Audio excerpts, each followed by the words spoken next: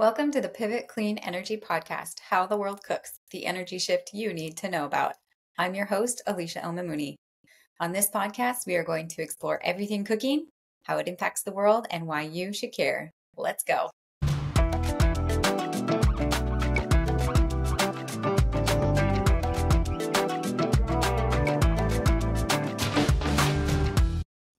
Doug Berven joined POET in March of 2003 and has served the organization in several key roles since then. In his current role as Vice President of Corporate Affairs, Doug promotes the corporate objectives of POET, the importance of agriculture, and the benefits of biofuels domestically and internationally. Doug currently sits on the U.S. Farmers and Ranchers Alliance Executive Committee and Board, the Fuels Institute Advisory Board, is a senior advisor to Solutions from the Land, is the executive director of the South Dakota Ethanol Producers Association, is team leader on the U.S. Grains Council Ethanol Advisory Team, and serves on several other industry associated work groups, committees, and associations. He also manages strategic corporate relations for POET, promotes state, national, and international policy objectives for the industry, and is a recognized authority on biofuels, renewable energy, and agriculture. Today, we get to hear from that wealth of experience and expertise on a topic that can be controversial in the biofuels world food versus fuel. We are going to explore the growth of bioethanol in the US and how it has shaped rural economies over the past four decades and impacted our food systems. And then we are going to pivot to the global south and explore the challenges of food insecurity, of how bioethanol could actually improve those dynamics rather than threaten the food supply. We discuss the innovative technology, regulatory environment, and supply chain dynamics that could help shape the future of the global south and see a huge shift in agriculture, allowing many countries to successfully produce their own food and fuel. Doug, welcome to How the World Cooks. Hi, Alicia. How you doing? Good. We are so thrilled to have you today. We are going to discuss something today that you are very familiar with and speak to regularly, but it can be a controversial topic and it's often plagued with misinformation. And that topic is food versus fuel, which we're going to explain and dissect throughout this interview. So if you don't know what that is, don't worry, you're going to get an education. So let's get started. Um, I want to provide just a bit of context first. So, starting with your background and where you're coming from, you are currently the VP of Corporate Affairs at POET, and you've been with the company for a number of years. Um, POET was also one of the initial members of Pivot, and so you've been around and contributing as a board member since the start. For those who might be unfamiliar, can you just give us a brief background on who POET is? Sure. Well, POET uh, is the largest biofuel producer in the world. We produce about 3 billion gallons of bioethanol on an annual basis, about 14 billion pounds of distillers' grains, about 975 uh, million pounds of corn oil, and we produce about 5% of the U.S. food grade CO2. Um, and all that comes from our 34 plants in eight states. Um, we've been around for about 38 years now, I guess, and uh, we have 2,400 team members. Um, it's also interesting to note that we buy about a billion bushels of corn annually. Our company does. That's wow. about seven percent of the U.S. corn crop. And of that corn, obviously we make bioethanol, but we also make the feed portion. So, as we're talking about food versus fuel, it's really important to understand that when we buy corn, we are not consuming the corn. We're only transferring the starch of the ethanol or the starch of the corn plant uh, to ethanol. All of the other nutrient components of that corn go right back to the markets where it's originally grown for hmm. in the first place. But that's wow, a little bit about POET and and we do you know we're a little bit unique in the industry in that we do everything under one roof. So we have uh, we do all of the design construction for our plants. We do all of the management for our plants marketing of the ethanol marketing of the distillers grains r&d so we're really a one-stop shop for everything mm. to do with uh, bioethanol biorefining uh, and bioprocessing. Wow yeah, very impressive. And also, um, for those who know anything about POET or have been following them, um, there's a lot of innovation that's always happening as well. So, always looking for new products to put into the market or efficiencies, optimization, and whatnot in the company as well. And um, so, that's really a neat thing to see. Yeah, and so, how long have, have you been? Oh, I'm sorry.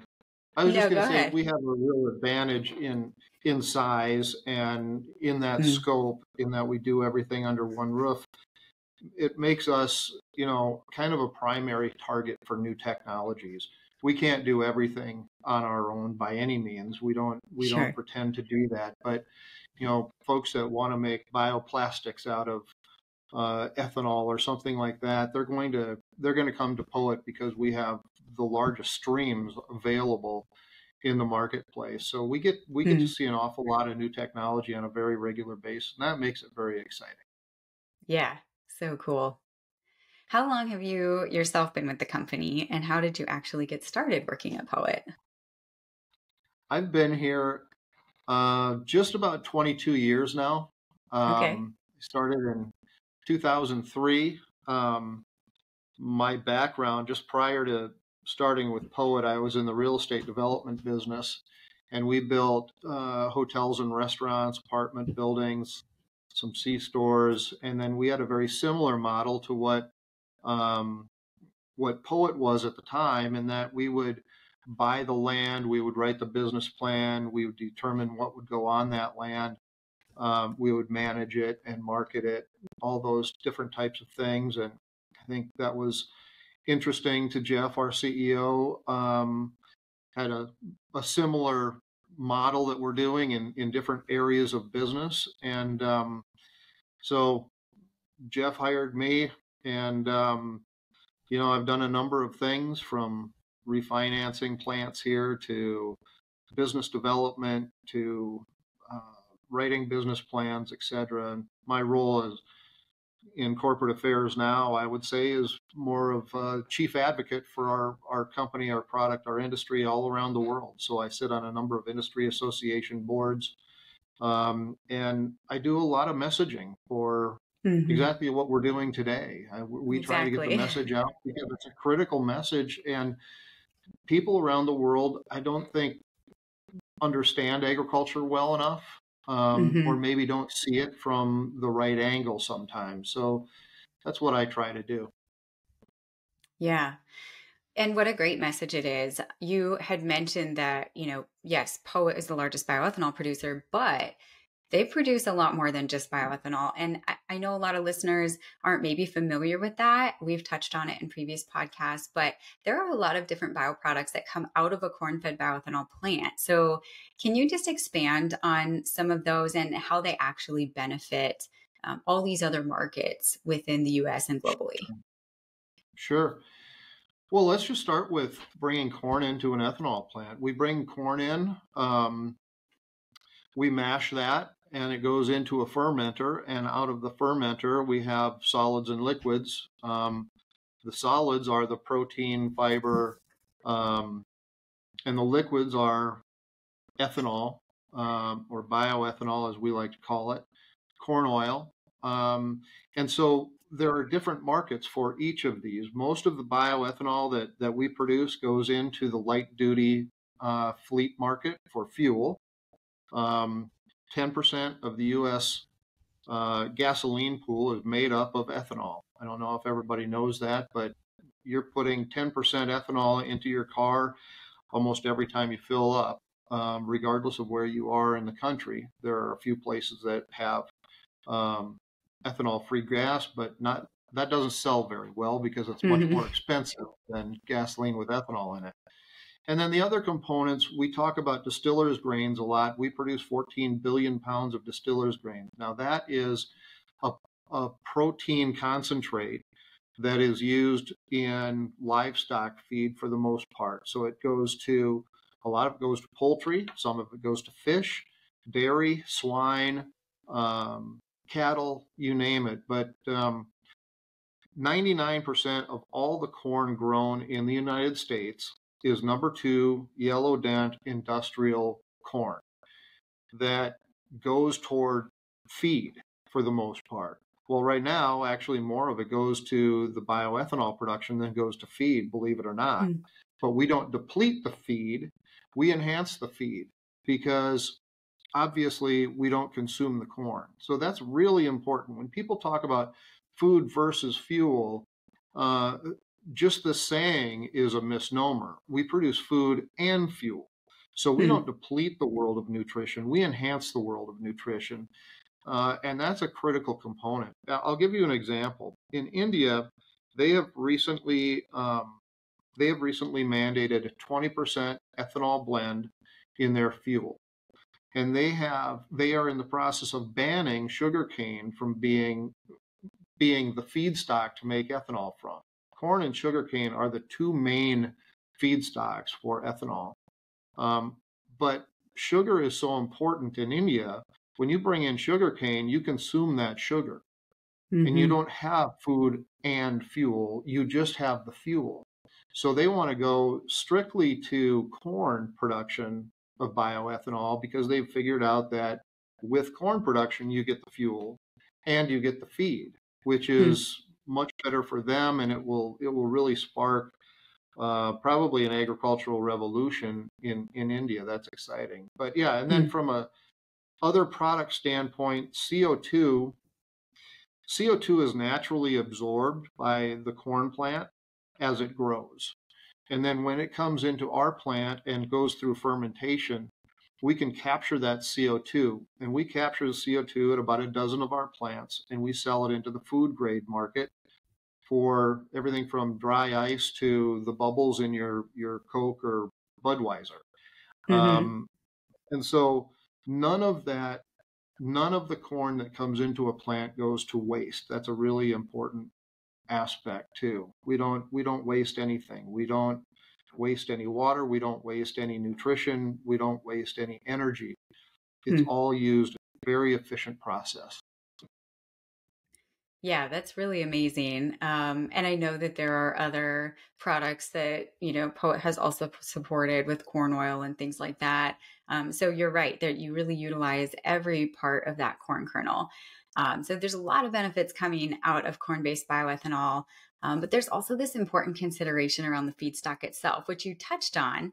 Um, you know, and the basis for that feedstock, which is agriculture. And so, you know, we, we're hearing these arguments about food versus fuel. People are afraid that crops for food um, are being used or land for food is being used for fuel instead. And so uh, the agricultural space in the US has um, changed. What does it look like today in terms of the land that's being used for energy crops? Um, like bioethanol versus food, and how has that shifted over the last few decades? Yeah, that's a good question, Alicia. The the land use has not changed much at all over the years. Um, hmm. We really don't need more land. We just need to manage the land that we currently have properly. Um, I'll give you a, just a touch of history uh, because it's important to, to point out what the future holds. So, you know, in the in the mid to late 80s, agriculture was dying literally dying. Suicide rates were high. Bankruptcies were high. Um, there was just too much grain on the market. And when you have a, an oversupply of grain, you have poor pricing. So the, hmm. the value of the product was less than the cost of production. And that was really that was really hard on farmers. And so the US government started paying farmers not to farm 20% of their land. That's how much oversupply there was. Wow. The Broins really didn't want to set aside their land, so they built a small ethanol plant on the family farm, hmm. and that helped balance their grain markets on, on the farm. And then they ended up buying a, a bankrupt, defunct uh, ethanol plant in Scotland, South Dakota.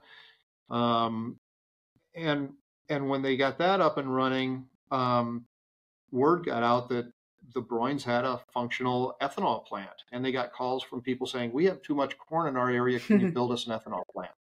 Yeah, and so wow. they built a few ethanol plants for others, and that grew into, "Can you help us market the products? Can you help us manage or optimize the plant?" And so that's how that's how the company formed, and that is really important because biofuels are what stimulated the resurgence of agriculture from mm. the 80s to today.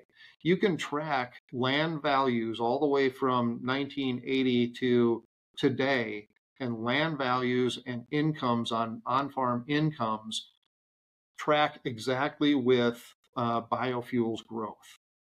So biofuels are soaking up surplus grain. That's a critical aspect because if grain is if if the value of grain is under the cost of production, we send cheap subsidized grain all around the world and we stifle global agriculture. If the hmm. US farmer can't afford to farm, how can the rest of the world afford to farm? That's an important aspect. So, a couple of key stats. Um, from the year 2000, when we really started growing, um, since the year 2000, there's been a billion people lifted out of extreme poverty around the world. And that's because we've supply, we have balanced the supplies of grain and allowed farming to become more prevalent in other areas. Hmm. So if we're not sending cheap grain around the world, people will produce for themselves, and that is that is um, that's a critical aspect. So when we talk about all the benefits of bioethanol, whether that's the lowering of greenhouse gas emissions, the lowering of cost of fuel, um, domestic production leads to um, energy security in our country. All those things are wonderful. But the best benefit that bioethanol has is its benefit to agriculture, exactly what you're getting at. Um, we have created a blueprint in the Midwest over the last 20 to 40 years that can be replicated around the world. Imagine if you put 200 ethanol plants in African countries. Mm-hmm. Just think of the agricultural resurgence and the economic boom that would happen around those plants. In mm-hmm. the United States, an ethanol plant, an average ethanol plant provides about $200 million worth of economic activity in a small area. That wow. is really critical. And so from the 80s to today, you've seen rural America um, thrive again. Um, and I think we can do that in places like Africa, India, China, place, Latin America places that are struggling to get a foothold because their agriculture hasn't taken off. Hmm. They need more markets for their agricultural products um, because cheap grain means you can't produce, you can't afford to farm. You need a margin in agriculture. And then I, will say one more thing, and then I'll I'll stop rambling, Alicia. But one saying that we use around here a lot is that biofuels are the catalyst for successful agriculture. Hmm. And successful agriculture is key to solving some of the world's most pressing issues, whether that's climate change, poverty, hunger, disease. There's not another industry other than agriculture that can do that. And the only market that can grow fast enough to keep up with agricultural technology today is biofuels biofuels is that catalyst for successful agriculture. And we've seen the proof of that in the Midwest over the last 30, 40 years. Hmm. Yeah. And I think that's one of the things that we're really passionate about at Pivot too is it's exciting to see that when you're promoting biofuels, whether that's for cooking or transportation or, or other spaces, you really begin to boost that very initial part of the supply chain, the agricultural space, and boost those rural incomes where they need it the most. So um, it's awesome to hear you talk about it like that and how much revitalization happened in the US over the space of the last 30 to 40 years because of biofuels. Um, and I want to touch a little bit. It, it is a different situation in the global south, right? They don't have necessarily the same techniques that we have for farming. They don't have the same capacity. If you were to put 200 ethanol plants in sub Saharan Africa right now, they might not have enough um, grain or sugarcane or cassava to supply those plants. So um, I'd like you to talk a little bit on some of the things that have optimized farming in the US and why we're able to still produce high yields on the same amount of land that we did 30 years ago. Yeah, the technology in agriculture is uh, really exciting. I mean, seed traits, drought resistant traits, uh, just the seed technology alone um, is fantastic. But then when you include what the farmers are doing with their land, uh, improving soil organic carbon, no till, mm. uh, precision fertilizer, those types of things. The farmers are are taking better care of their land than ever before, and that's because they're learning that value of of the land. Well, they, they're not learning it; they've always known it, but the tools are better to supply them mm-hmm. um, yeah. with managing their land. And then you've got the technology from the OEMs, um, tractors and combines that are GPS. Um, you've got drones that can fertilize very specific areas. You've got um, GPS mapping that shows where to fertilize when and how and how much to apply. Hmm. Um, it's interesting. We've talked to some of the the leading companies in in agriculture, and they're excited. Uh, one person actually said, "You know, we've been growing corn forever, but we're just learning how to grow the corn in the United mm-hmm. States. So we are going to more than double um, double output of corn on the same amount of land uh, in the not too distant future again. We've been doubling over the past, but now that technology just seems to be um, increasing exponentially because they have learned so much about the corn plant. Now, when we talk about Africa and other developing um, countries, um, you're right. We can't do it overnight, but you have to start somewhere.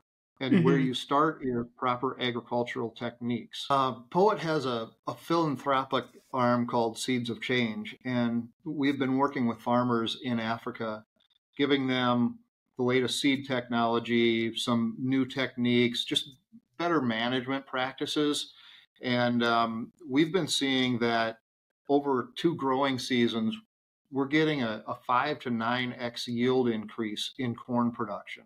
So we know that African countries are very capable of producing more.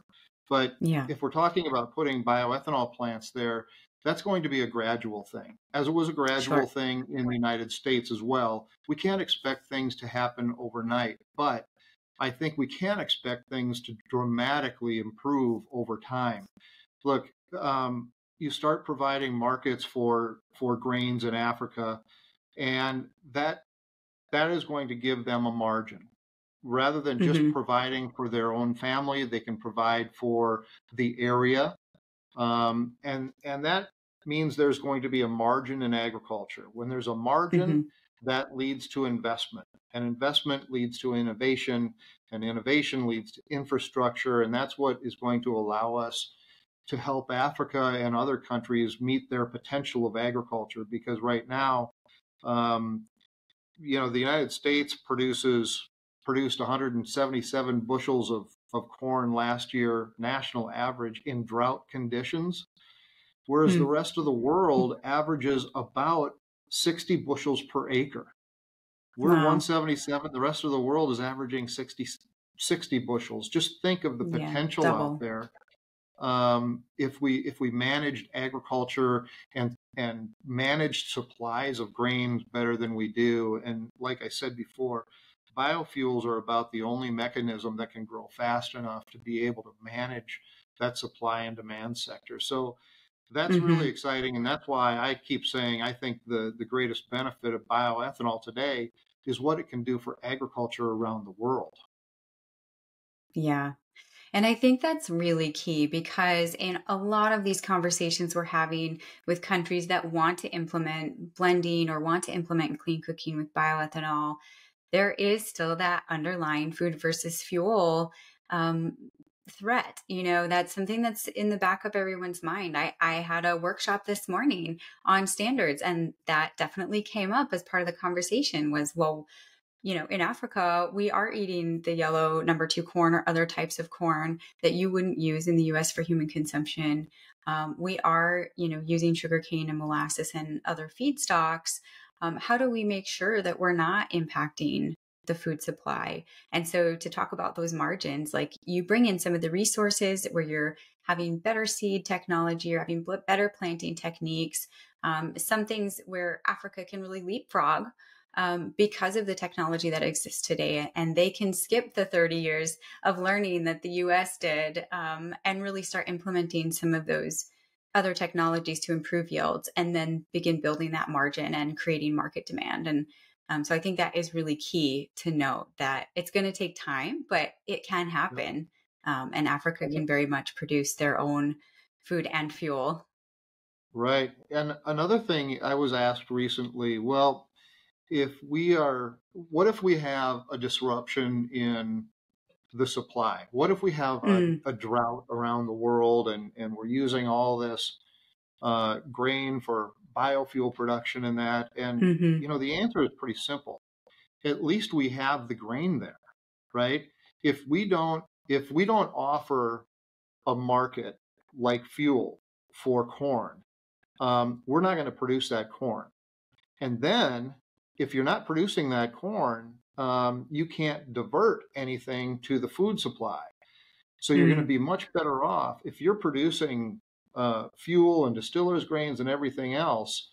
Um, you're going to be a lot safer because you could always siphon off some of that corn for food production uh, if there's more of it being produced and more of it being used. But if it's hmm.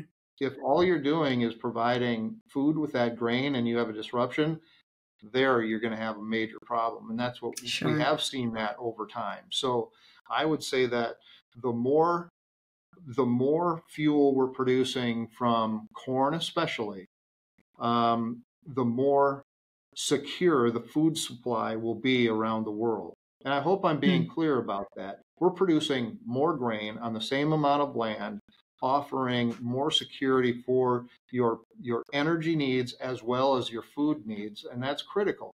The whole food versus fuel narrative is just wrong on every aspect and it's frustrating that people are still talking about it. When we've got a 40 year history to show that we don't deplete the world of nutrition we enhance the world of nutrition. The other thing alicia if you if you look at the growth of biofuels over the last 20 years and you put undernourishment around the world on that same graph, undernourishment mm-hmm. goes down while biofuels growth goes up. Hmm. That just proves that that supply is really helping from an economic standpoint increase agricultural output. Mm-hmm. Yeah, and there's definitely more um, consideration around that. I think there's more research that's being poured into this. We're collaborating with um, GBEP and FAO, who are doing nutrition studies around how nutrition improves when you introduce clean cooking, including bioethanol clean cooking, and how that enhances livelihoods and um, connected directly to that food supply and quality issue. So I think it's definitely something that people are looking at seriously and they want to have answers for it, which is great. Yeah, absolutely the the market for clean cooking is obviously really large around the world, and I think that is going yeah. to be a great market for uh, countries because you're providing the fuel to cook with, along with the food you're going to cook, right? Yeah, exactly. I mean, what a what a fantastic um, opportunity for developing nations to start slow, gradually mm-hmm. move in but yeah, the security for energy and food is going to be much greater if we're if we're creating additional markets for those grains. There, there's just mm-hmm. no question about it. Yeah, absolutely. So, as sub Saharan Africa looks to implement bioethanol economies, a lot of countries are getting interested in this, not only for cooking, but for blending with transportation as well. Um, what are some considerations that they should um, look at when they're exploring building these economies and expanding their ag sector? Well, I think first of all, they've got to they need to set standards in their country that uh, allow imports to start. And let me mm-hmm. just give you a, an example. When when the United States passed the renewable fuel standard, um, we couldn't supply our own bioethanol. We didn't have enough production. But um, providing a market there and importing ethanol from Brazil showed us that we can grow our our biofuel market internally and mm-hmm. and not have to depend on imports from other countries. And I think that's an important aspect sure. for a number of African countries uh, to consider because if you don't have the market, you're not going to have the certainty to invest in those markets. And so that's one thing that I would do. You got to make sure that the standards are right. You've got to make sure that the the duties and tariffs and things like that uh, aren't aren't high that that um, make it hard for exporters to export into those countries because mm-hmm. Um, it has to start with a lot of countries by importing these products and then that will that will encourage internal production uh, and, and i think that's probably the key aspect uh, in growing some of these markets in in hmm. african mm. countries um, but yeah you deal with tariffs and ASTM standards and things like that. Yeah. And, you know, it, it shouldn't be all that hard to make those things right um, for these countries, but I know it's more difficult than than you might think sometimes. But I just hope that as countries get more and more serious about this, you've got to set the standards right and you've got to set the standards high, higher than what mm-hmm. can be produced in that country to start with um, so that there is there are goals out there to bring in uh, your own production into play. Absolutely. Yeah. Having that regulatory certainty and making sure that you have this enabling environment in place is really a big part of the foundation of growing bioethanol globally. And um, so, and we're seeing countries do that, right? We're seeing um, some trans- transitions start to take place. Uh, we just finished a standards workshop in Mozambique the end of last month, and they're going to start putting standards in place, even just around fuel blends, so that they can actually get fuel in place into the country. And so, steps like that are really important to beginning uh, the market demand that's uh, going to take the sector to the next level. Yeah, absolutely. I we've both agreed that it's not going to happen overnight, but you set mm-hmm. the right standards today, and 20 years from now, you're going to look back and say, I wish we would have done that 40 years ago or 50 years ago yeah. because the, the, you know in the United States less than 2% of our population considers themselves farmers. In hmm. Africa, I'm sure it's the majority of the population in Africa considers themselves to be farmers, right? Think about how critical agriculture is to these nations. And if there aren't any markets for it, and there aren't any incentives uh, to improve it, um, it's not going to change, right? Mm-hmm. It, you know, we talk all all the time about energy security in the United States, but I I would argue that it's more dangerous for developing nations to depend on the United States for its grain than it is for the United States to depend on the Middle East for its oil. Both are mm-hmm. critical, mm-hmm. right? But yeah, at some point, um, Africa and other developing areas around the world um, are going to see an agricultural resurgence that we've seen in the United States. It, I think it's inevitable, but it's it's going to take mm-hmm. a little time. Yeah, it will. But I think you're right in that, you know, biofuels can really act as a catalyst for that. And so that's really exciting. And it's exciting to be in an industry where we're part of that and um, can help participate and provide resources and education and um, have conversations like this where, it, you know, we just get more information around a subject that we might not know a lot about. So I really appreciate you coming on the show today and sharing your expertise um, just being very candid and um, explaining the the topic in a very clear way. I think it's going to be really interesting for our listeners. Good. Well, I appreciate the opportunity, and um, if if people need more information, it, we can provide that to them as well, Alicia. I know that you've got my contact information. As you get yep. questions, please pass them on we want to make Absolutely. sure that we're educating the world on this. It's a it's a critical subject, and we've just got to clear clean up the misconceptions out there. And everything that I've shared with you yeah. today is factual, based on numbers and stats and and history. So that's exciting. Yeah. Well, we very much appreciate it.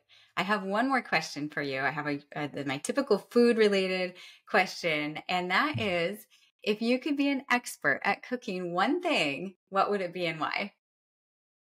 Okay. Um, Well, this is so I'm going to go a little bit broad with this, but I would say seafood. Okay. Oh, okay. I think seafood cooked right is the best, well, some of the best food on the planet. seafood cooked poorly is not very good. Right. Yeah. So, uh, can be the best or the worst.